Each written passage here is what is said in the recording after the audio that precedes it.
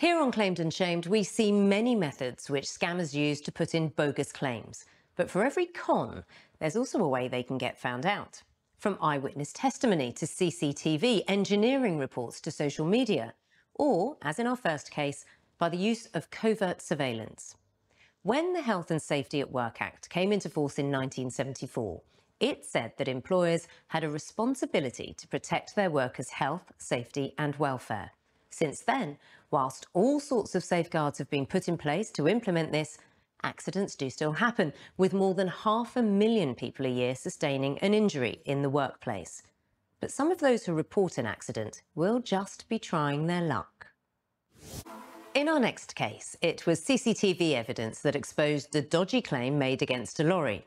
There are around half a million licensed heavy goods vehicles, HGVs, here in the UK. Drivers must undertake expert training and obtain a heavy goods vehicle driver's licence before they're able to hit the road. However, accidents can sometimes happen in these unwieldy beasts, and that's where specialist insurance companies step in. Following a genuine collision between two vehicles, some unscrupulous people will try to inflate their claim, but they're likely to come unstuck, as expert engineers can tell exactly what damage had been caused. In England alone, there are more than a quarter of a million licensed taxis and private hire vehicles. With that number zipping up our lanes and nipping down our streets, it's no wonder the odd accident will happen. But in our next case, the cab in question was parked and stationary when it was involved in a collision.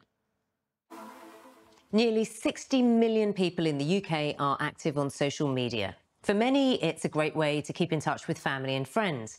But others who share every little detail on social media as a way of life should remember that with every post, they're potentially handing valuable evidence over to the insurance investigators. On our busy highways, motorcyclists are among the most vulnerable of road users. An average of six riders a week are killed in collisions, and more than 100 are seriously injured, with the most common reason being that the other driver failed to look properly. However, the motorcyclist in our next story used that reason as an excuse to try to make a very dodgy claim. What he didn't bank on were eyewitnesses coming forward to say what had really happened. Another shocking case of deception and a timely reminder that we all need to remain vigilant to the scourge of insurance fraud.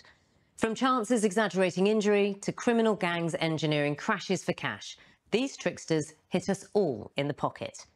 Every year, insurers lose millions to these scams, and it's you, the policyholder, who ends up paying the price in hikes to your premiums. But the sheer number of thieves caught in the act sends a clear message to anyone thinking about cheating the system. They claimed, but now they're shamed.